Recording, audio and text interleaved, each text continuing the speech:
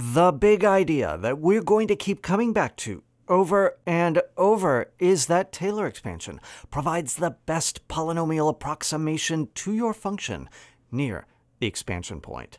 And it's the derivatives that really matter.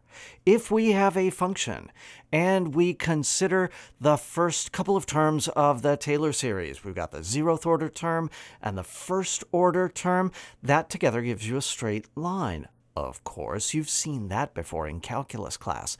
But adding the higher order terms, the quadratic term, the cubic term, higher order terms, these give you polynomial approximations to your functions that are really good approximations near to where you're doing the expansion. It's really the derivatives that tell you what is happening as you move away from the expansion point. So, let's think. Let's do a thought experiment.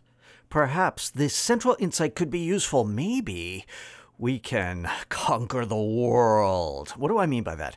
Let's say that we have a function that has time as its input.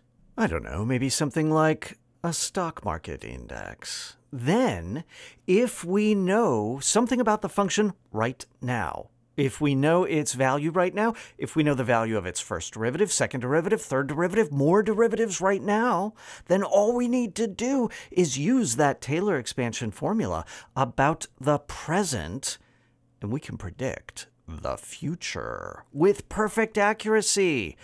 Wow, that seems like that could be really useful. But why am I not doing that? I'm making a lot of money. Why am I recording this at 5 o'clock in the morning? What goes wrong with this picture? Besides the fact that divination is dangerous. There are a lot of problems with this simple sort of application of a Taylor expansion formula.